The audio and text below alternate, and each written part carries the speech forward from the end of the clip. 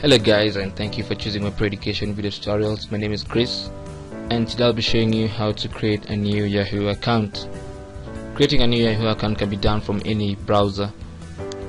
So I'll choose one of my browsers to create Yahoo account.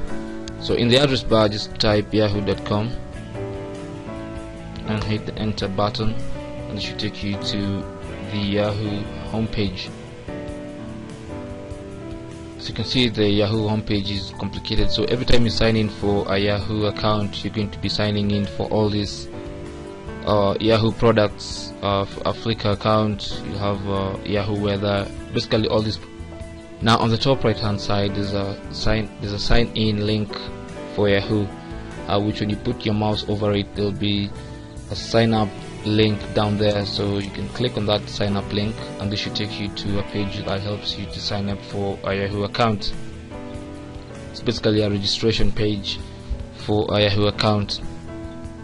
Well on this page I need to do the obvious. Put in your first name in this field put in your last name in this field. Uh, you can see it's red because these are fields that are required when you click outside the field without filling in you should see it turn red and uh, a text right down there that says enter last name. So that should tell you this field is required. You cannot sign up for a Yahoo account without a first name. This is the username uh, which is basically your Yahoo email address that you're going to be using. Uh, you could combine your first two names and Yahoo should tell you if that username is available or it's not if it's not available then you can have to change to a new one or you can pick one of the suggestions that Yahoo gives you. Uh, the password section is where you need to put a strong password for your Yahoo account. A strong password as indicated down here it should be 8 to 32 characters should be a mixture of uppercase and lowercase letters and should also have numbers. This section here right uh, allows you to fill in your mobile phone number uh, your mobile phone number helps you in case you lose your password. Uh, you can click here. This is information to tell you what a mobile number will be used for. Uh, it says if you ever forget your password or username Yahoo can send your info to this number to help you. We may ask you to verify this number.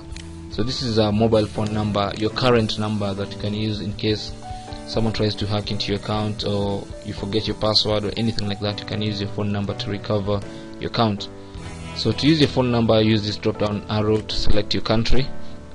Now if you're in Kenya like me just select your country and then you can put your mobile number there with the correct area code. You need to fill in your birth date.